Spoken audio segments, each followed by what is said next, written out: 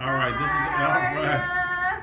This is a follow-up video to the other. We're at Lutong Pinoy Filipino restaurant Yes. in Miami. They've been here three or four years. They're very nice people, as you can tell. Okay, sir. Thank you. Thank you very much. Okay, You're the best. you. Thank you. And I'm just going to run outside and take a, a quick follow-up picture of the outdoors so you can see the sign. They're, they've been here three or four years. I can tell they are anxious to get uh, your business, right? It's actually very good food. It really, truly is. Um, I'm outside. They can't even hear what I'm saying. And uh, get one more look at it here. This is. Uh,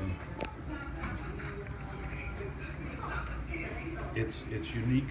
You haven't tasted this before, and it's excellent.